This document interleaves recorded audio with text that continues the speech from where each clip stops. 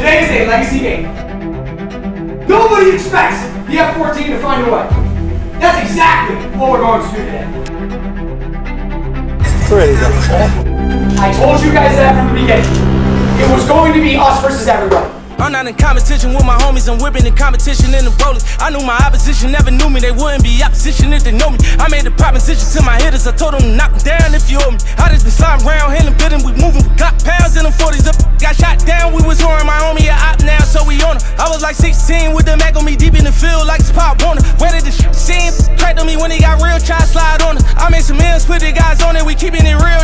Nah, and my homie is savage, got put in the casket, and I'm mad at him cause he died on us. Just love his viewing, and I told his mom every time that she cry, we gon' slide on her. I'm going hard on my back to the wall.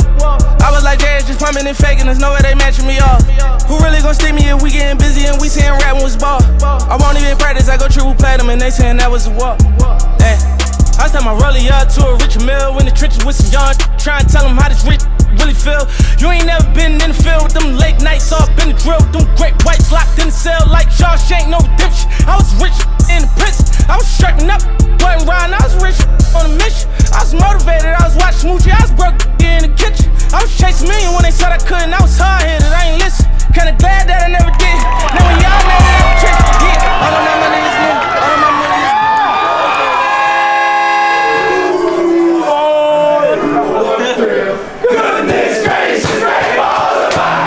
This is your moment. We have a bunch of F-14s in the room, baby. It was you guys that won that game today. You were willing to get in a dogfight, and there was nothing that was going to take that from you. This will be a memory that you guys will have for the rest of your lifetime.